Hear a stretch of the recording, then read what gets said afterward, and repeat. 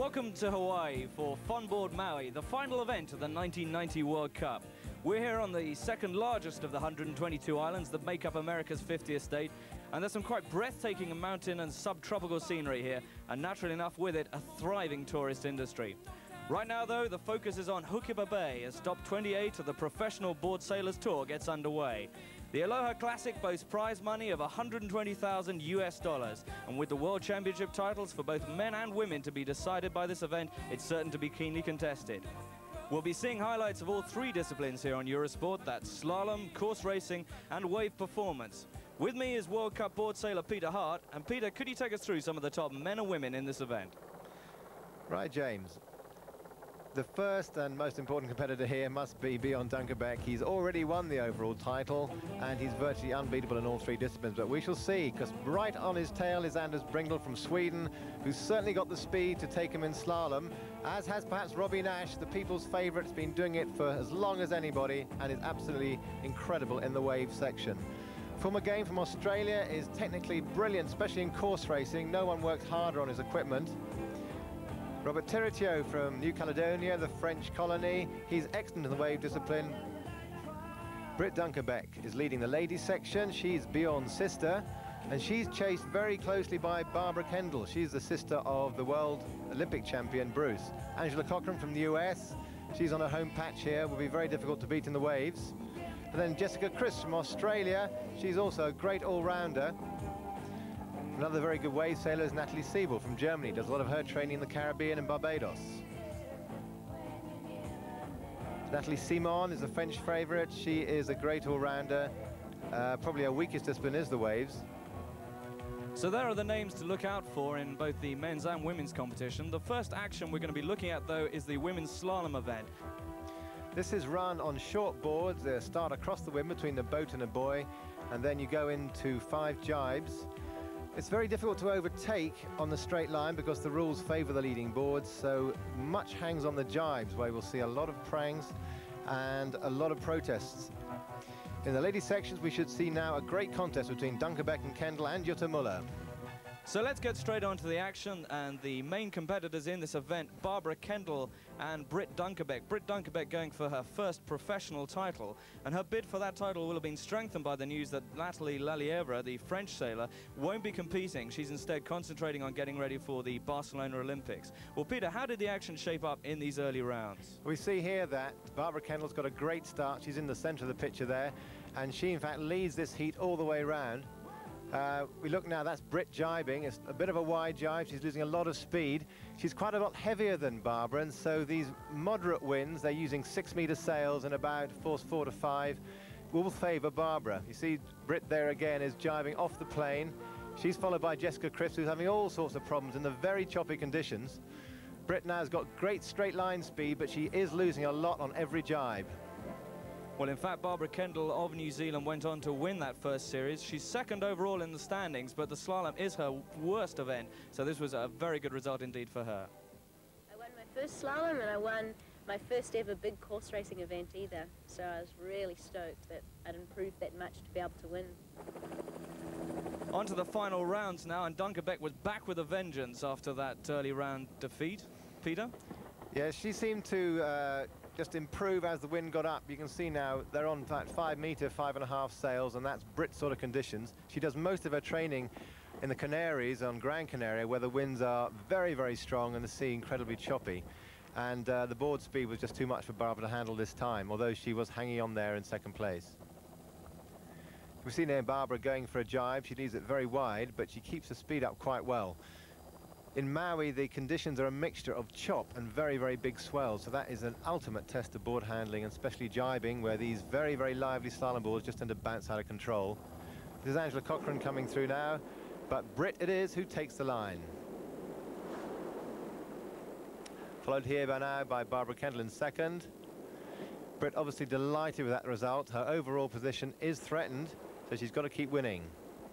So just waiting for confirmation now on the uh, final result of the women's slalom. Britt Dunkerbeck it is in first place, Jutta Muller of Germany second, third Barbara Kendall, fourth Angela Cochran of Hawaii, Jessica Crisp in fifth.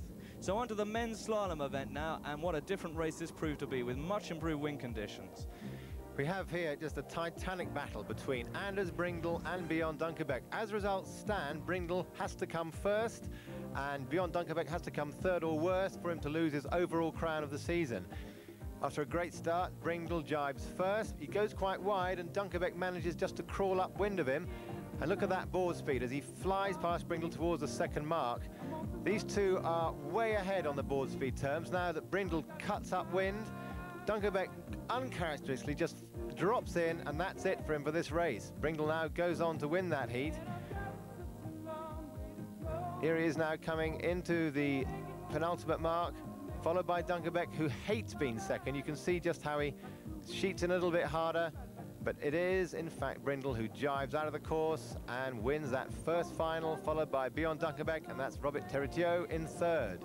Robert Teriitehau's great result for him. He's one of the smaller sailors, and just to prove his delight, he throws himself into a forward loop. Slalom has now become probably the most popular discipline worldwide. It's done on smaller boards. It's very fast. You don't need quite so much equipment. It's a great test of skill and board handling, but now as people get faster and faster, tactics are all important. You can see how people are always cutting upwind, changing the line between the marks to try and get an advantage upwind or downwind. And of course, everything hangs on the corners. You'll find if you're not in first place that there are all sorts of chop and wake in the way and that throws the board out of control. But the best of these sailors just practice these jibes day in, day out on the worst conditions they can find to make sure they don't throw themselves in. It's worth noting there are very few speedboats who could keep up with them now. They're doing around about 30, 32, 3 knots, which is around about 40 miles an hour. So Anders Bringdahl streaking ahead there. The bad news for Robby Naish was that his full start in an early heat led to a disqualification. Meanwhile, controversy dogged the third final as this collision between Anders Bringdahl and Bjorn Dunkerbeck led to a uh, complaint. And Peter, perhaps you can uh, talk us through this. Yes, well, the rules state that the lead board has right of way. And the controversy is that as Bjorn Dunkerbeck passes Bringdahl, Bringdahl claims that he was hit and fell in. The protest committee then had to decide who was actually in the lead at the, at the point of collision. Well, as Didier Lafitte, chief judge of the PBA, says, the PBA rules need to be adapted to the sport. At the moment, they are based on navigation rulings. Here, with Bjorn and Anders travelling so fast, it is like Senna and Prost in Formula One. Out on the waves, they use everything in their power to win, but you can't compare an engine travelling at 10 knots to something travelling at 30 knots. So Dunkerbeck uh, ruled to be ahead at the point of collision. His first place stand Disappointment for the Hawaiians, Robby Naish and Rush Randle. Randle was third so far in the slalom, but he was left behind at the start. Naish had to be content with eighth. I think they'll do better if they do it more often. You know, even like Rush Randle. He's only just starting slalom. He hates it, but he's okay. One of the main problems the newcomers to slalom will have is the start, which is a time on distance affair. You have to wind the board up to full speed so you cross the line going sheeted in as hard as you can. And it's very easy to be over the line, as it is, in fact, to get left behind. Phil McGain, KA7 there, is one of the world's best starters. He there starts downwind of the rest. And also Robby Naish there, he took a middle line start, and he's, in fact, got to the first buoy first. Now let me take you back to one of the earlier heats, which featured two of the world's most exciting sailors, Robert Teriitehau here, F-35, and of course US 111 Robby Naish. And here they are fighting it out all the way around the course. Robert Teriitehau, this says that jibes first, a little bit tighter. Robby Naish goes for a wider line and keeps more speed up. Very windy this race now. They're down to 4.0, 4.5 meter sails, but Teriitehau holds his lead. Has to decide whether to hang back or jump over the waves, to, which could cost him time and distance. Coming in there now, though, it's Teriitehau who jibes first and wins. Well, that disappointing race from Rush Randle in the final round let Dunkerbeck take second in that final heat and therefore take first in the overall men's slalom result. Anders Bringdahl pushed down into second, Nevin Sayre of the USA in third, Phil McGain of Australia in fourth, with Matthias Holmberg of Sweden in fifth. Now, men's course racing. Another map, another description from Peter Hart. The course racing discipline involves an upwind leg, but as we shall see shortly, it is also done on slalom boards in winds above 15 or 16 knots. It's a test of tactics, of stamina, and of course all the jibing skills. You see as an upwind leg and then a series of jibe marks, and they'll complete that course twice or three times, depending on the race officer. Robby Naish now about to launch his course racing slalom board. And here's the start. All competitors on the line together. Not surprisingly, it's incredibly dangerous out there with everyone crisscrossing as they hit the line. Some will be starting on starboard, some will be starting on port, and collisions are inevitable. Well, with almost 70 boards out there at the start, it's not surprising that collisions did in fact occur. McGain and TM having a collision. TM talks us through the damage. Tu vois les mecs arriver, moi, McGain, je l'ai vu arriver carrément au dernier moment. On s'est scratché au dernier It's very, very J'ai vu, euh, fast. Suddenly, cartes McGain was in front of me, and there was nothing I could do. If this is what happens to a carbon board, imagine what would happen if you hit somebody on the head with a mast or your board. Si tu heurtes un mec euh, dans la tête, je pense que ça peut faire très mal, quoi. hein. So we are straight after the start. The boards now are heading upwind, as tight to the wind as they can. With these slalom boards travelling upwind at around 20 knots, you have to be very sure when it's time to tack. So you're zigzagging away to the first mark. If you fall off at a tack, then that's going to cost you up to 50 yards. This is Dunkerbeck now, screaming upwind. He's sailing the board almost entirely on the fin, but his first jibe goes horribly wrong. That is just uncharacteristic mistake you could see him do. That opens the door for Bringdahl, who very cunningly goes upwind of him, takes his wind, so Dunkerbeck takes even longer to water start, and now he's not going to be able to make up that sort of distance in this quality field. There we are, Bringdahl now driving the board off the fin, heading on a tight reach. Dunkerbeck behind him. Excellent stance, using quite long harness lines. Six foot four of him, so he's got a lot of weight to throw over the side. He's tacking now. The sails they're using there, that mast is about 15 foot long. The sail size is about five and a half square meters. That's Dunkerbeck finishing. He wins that second course race. So a motivated Dunkerbeck taking maximum risk to win the next four races. And here are the overall men's racing results. Bjorn Dunkerbeck with first place, Anders Bringdahl again in second place, Thorkild Kristensen in third, Phil McGain of Australia in fourth, and Robin Esch finally in the first five in fifth. Now onto women's racing, and entering the water now, Peter. That's Natalie Simon, excellent French course racing sailor. They too will all be using slalom boards because the wind is quite strong out there. It's this is a new discipline for them. As little as two years ago, that everyone would have been on long boards with dagger boards over three and a half meters long, much more unwieldy. The sailors prefer these slalom boards to do course racing on, not just because they're faster, but also it's much less kit to drag around the world with them. This is Barbara Kendall once again showing her prowess in this, the course racing discipline, jibing in sweetly there, making no mistakes. In course racing, there's so much time on the reaching legs to make up ground that they tend not to take too many risks around the jibe marks. There's Natalie Siebel from Germany there, taking no risk and wearing a crash hat. With that many people around, it's very often others' masks that get in the way. That's Barbara Kendall from New Zealand there, sailing the board on the fin. Excellent style, holding the rig still, making sure the board is flat on the water the whole time. Here's the speed specialist, Britt Dunkerbeck, looking good and happy all the way through this race. She sailed excellently in this series, and she was to defend her overall crown. An excellent result, though, for Barbara Kendall, who got top slot at the end of the day, further strengthening her claim to be the overall world champion. She's now narrowed the gap on Dunkerbeck, and the next few days will be especially crucial in the chase for the title. What do you think about Britt, your uh, good friends? Yeah, Britt's great girl, great girl. She's a lot of um, had a lot of help this year, and um, she's very fast, very fast. Too fast for you? At times, yeah. she just blows you past you on the reaches. And so Britt Dunkerbeck's consistency nets her first place. Barbara Kendall has to be content with second. Natalie Simon was delighted with third. Angela Cochran from the US in fourth with wave specialist Natalie Siebel in fifth. So with two disciplines finished in this event, the last and most spectacular aboard Sailors World Tour. Now it's time for possibly the most spectacular of them all. It's the Wave Performance event. And to talk us through the judging, let's talk to Didier Lafitte. Quelle est la plus grande difficulté dans, dans le jugement de cette épreuve des vagues Maintenant, le niveau de, le niveau de pratique des There gens is so much to see and take in that it énormément is de impossible to note everything down on the computer. une finale comme ici à nice back turn will get plus 10 points, but then the next one will come along and do a nice forward loop, which also deserves 10 points. So you have to go back and adjust your marking all the très, très beau time. back c'est-à-dire un barrel roll avec une main lâchée très haut, très bien posé, on peut donner 10 points.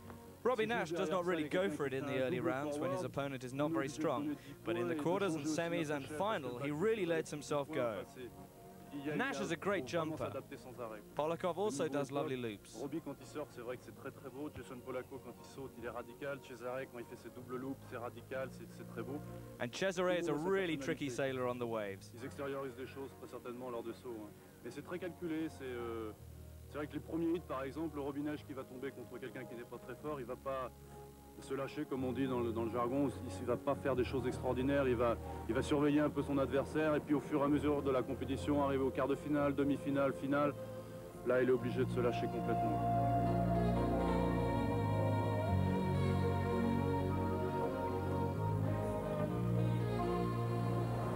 So on to the action. The first competition up is the women's wave event. This is definitely the most spectacular of the three disciplines involved in the World Cup, but the women obviously lag behind the men a bit due to a lack of body strength. Peter, how much is that a disadvantage for the women?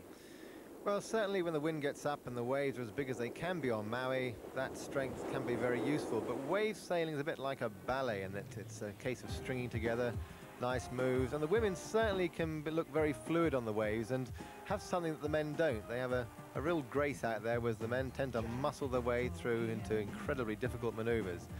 But certainly now, we're seeing the last few years, the ladies are going for loops. They're doing all the most radical maneuvers, and they're certainly not put off by the size or power of the waves. And there we have Angela Cochran completing a forward loop. That's one of the first we've ever seen in women's wave competition. That's now Barbara Kendall just getting eaten by the white water. From here you can't see just how powerful those waves are. They're generated by distant storms. They hit a reef and they jack up and they can just wash you straight onto the reef unless you're careful, damaging your equipment as you go. That's Jessica Crisp going for a tabletop there. She's more of a slalom and course specialist, as is here Natalie Simon, who actually did very well in this competition.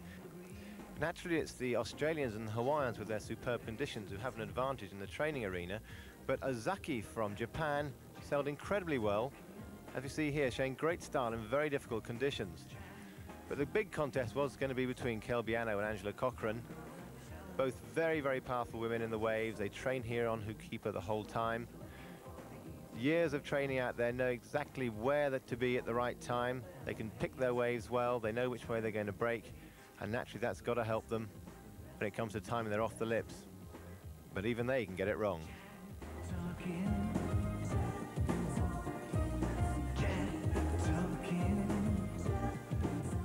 So Angela Cochran, the 89 champion, the favourite for this event, winning the uh, Maui section of the Professional Board Sailors Tour. Overall, though, the overall title going to Natalie Siebel, who competed in more events overall. Second place, a great result that for Ozaki. Cochran third, Kendall fourth, and Jesper Crisp in fifth.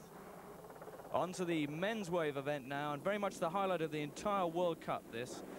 Naish is the favourite, but for the first time it looks as though Bjorn Dunkerbeck might take his title. Naish must win today and hope that Dunkerbeck gets less than a third place in the wave discipline.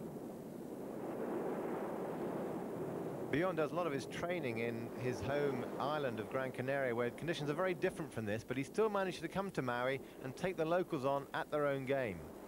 He's an excellent looper, he's very strong, but will he be able to beat Naish, who is superb in all conditions? Dunkerbeck here in mid-heat, deciding that that board wasn't big enough, nor was the sail. The wind is very, very fickle out there. It's blowing slightly offshore, so it's gusty. Bjorn is a big man. He's 90 kilograms, and so he's gone for the slightly bigger option. As you can see here on landing, the board sinks beneath him rather. That's an excellent loop, but he has trouble getting going in these conditions. Bad news, though, for Patrice Belbéoch, the French hope. He's reached round four of the wave discipline, but unfortunately, once again, he's got to meet Robby Naish. Well, as Belbéoch tells us, it's becoming a habit. In four events, I have met him four times, and he's beaten me every time. We'll see. Sadly for Belbéoch, things weren't to change, and Naish once again shows his supremacy. He has the knack of creating incredible jumps out of very dead situations. Belbéoch is no mean performer in the waves, but he just doesn't have that edge, which Naish does. And in these early rounds, Naish isn't even pulling out all the stops. A fantastic back loop, landed exactly, and that's just one of his easier maneuvers. Belbéoch goes for a forward there, but it wasn't enough to beat the people's favourite. Naish now comes in victorious to who came Hookipa's famous little beach. It's renowned worldwide, it's only about 30 yards wide and it's covered in rocks. Anders Bringdahl now on his way out to his semi-final. Bringdahl, once a course racing specialist, over the last three years has trained hard in Maui and is now in the top five wave sailors in the world. He's up against Mark Angulo and was to pull off the sensation of the week by beating Angulo, who is renowned as the best sailor on Hookipa. Bringdahl's victory was a bit like a, uh, an English person winning the World Cup skiing. It's incredible to beat a Hawaiian on their own patch and cause quite a stir. Always my wave performance has been decent. I've been riding waves okay and my jumps are not too bad. But uh, I have nothing for tricks. So now I filled in my routine a bit with more tricks and stuff and it does look a little bit better for me. So therefore I'm doing a bit better. Now back into the wave competition. Here's Dave Kalama, another member of the Hookipa Brat Pack, only 18, 19 years old now, and not having such a good time. Putting in some tremendous loops and jumps. The wave's only medium height, about head height, which is very small for Hookipa, which means the sailors have to work that much harder to pick their waves and to create the energy. Well, according to Robby Naish, who's got nine years of experience behind him, the standard of competition this year was higher than ever before. The whole level of competition is a lot better than it used to be. Used to be four or five guys that were good and the rest were really bad. Yeah. And now the first heat is, is really good. Everybody's doing loops and everybody's doing off the lip, so it's a lot more exciting overall. Even the women are pushing sometimes, you know? Well, in the first semi-final, Naish was up against Jason Polakow, and it was very much the opposition of style and age. Yeah, Robby Naish should have had an easy victory here, but he found against this young Australian who was in his first year of World Tour that he had a real competitor. Polakow's incredibly strong. His aerials were superb. In uh, his hometown in Australia, he's been seen going for double loops and making them regularly. Naish however, is supreme in the ways. He has this ability to psych out his opponent. He looks for him on the water, gets near him, and then puts in some huge maneuvers very near him. Polakow now building up for a one-handed loop, showing the judges that spare hand and landing it perfectly. Naish doing his famous sailing backwards on the wave trick. He's now going to spin it out, sail it properly, and go in for an inside transition. Polakow there going for a 360 on the wave, a very difficult maneuver. Doesn't quite make it, but still score good points. Naish now playing with the lip, lifts his heels, gets a great aerial and keeps it going, staying on the white water in the most critical section. Going for a huge jump there, Naish again, landing it and sailing on. Polakow looks very happy with himself. It's his first competition. He doesn't make it through to the final, but here we have a champion in the making for sure. Next semi-final now sees Bjorn Dunkerbeck up against Rush Randle. Rush Randle, one of the most exciting competitors on Maui. He has his good days and his bad days, and this was to be a good one. Smacking the Hookipa lip there, holding it in. Dunkerbeck now heading out towards the waves, going for a forward, landing it perfectly, popping out, and looking for the next wave. Rush Randle hitting the white water, muscling the sail out again, going for the next one. The judges, light wave riding on Maui holding it down, again hitting the lip in the most critical section, going for a forward roll off the lip. Incredible maneuver. So Bjorn Dunkerbeck unable to realize his dream of becoming the first European to beat the Hawaiians on their home ground. As he tells us, it's true that the Hawaiians are the best on home ground. That always helps. But I would like to take them on at home in the Canaries. They are good on waves, but I am strong overall in the three disciplines.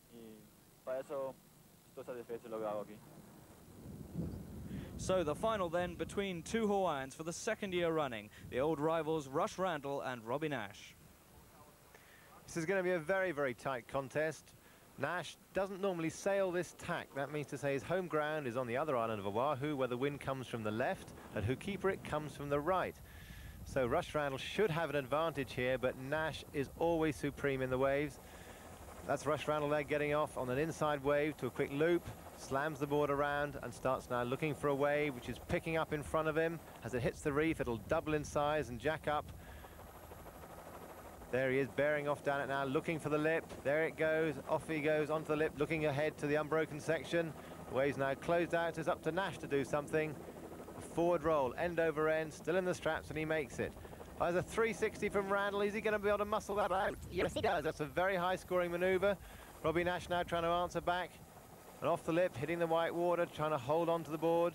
He's only in about three feet of water there now, so he's got to be very careful not to knock his fins off. Rush Randle, forward loop, off the lip again, very high scoring. The winds are still around about 20 knots. The waves aren't that big. Naish going for his famous tabletop, but having to let go. It wasn't very good, but I was worse, you know? It's terrible that you, you have said. That's true. That's true? Yeah, I had a bad heat. He didn't have a great heat, but I had a worse heat, so that's the way it goes. So the underdog Rush Randle, not as strong as Naish, but he took enough risk to overcome the handicap, and he was rewarded with a win in that event to rob Naish of the world title. So after 28 stops in the PBA World Tour, the overall wave performance results look like this. First, it's Bjorn Dunkerbeck. Second, Robby Naish. Third overall, Rush Randle. Cesare Cantagalli in fourth, and Anders Bringdahl in fifth. The overall results for the PBA World Tour Britt Dunkerbeck takes first place, followed by Barbara Kendall of New Zealand in second, Angela Cochran, the Hawaiian, in third, with German's, Germany's Natalie Siebel in fourth place. The overall result for the men, a phenomenal win for Bjorn Dunkerbeck. Not only is he the overall champion for the PBA Tour, but he also wins each individual category. We hope you've enjoyed... RTL